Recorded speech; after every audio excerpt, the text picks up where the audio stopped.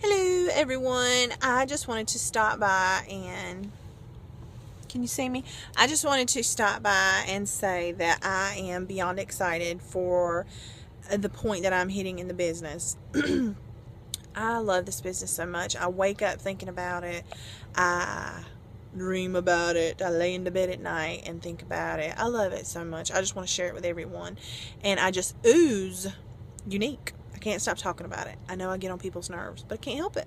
I just believe in it that much. And if you feel that way, if you have to make yourself think about it and make yourself work for it, I just don't, I just can't even comprehend that. Like, I every minute I'm always trying to think about some other way to share it with everyone. Just share the business with everyone, share the products with everyone so they have the opportunity to experience what I do. The way I feel when I put my big old lashes on.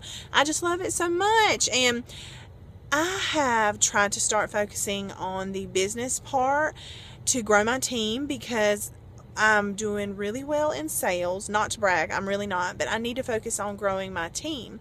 And now that I have tried to start putting my focus there, people are literally coming out of the woodwork finding me. I don't even have to try for parties anymore. And I'm not, like I said, saying that to brag.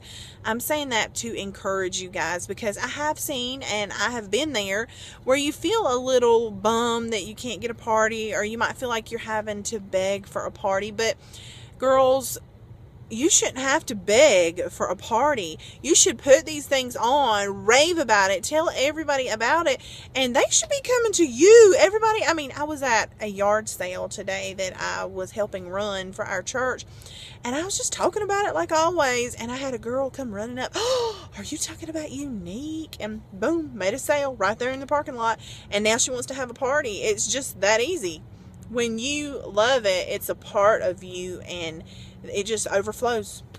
So I just want to encourage you guys to just believe in this. And if you love it and you believe in it, it's going to happen and you're going to go to the top. That's where I'm going. And I hope to see you there. Thank you guys. And I hope y'all have a good night. Bye.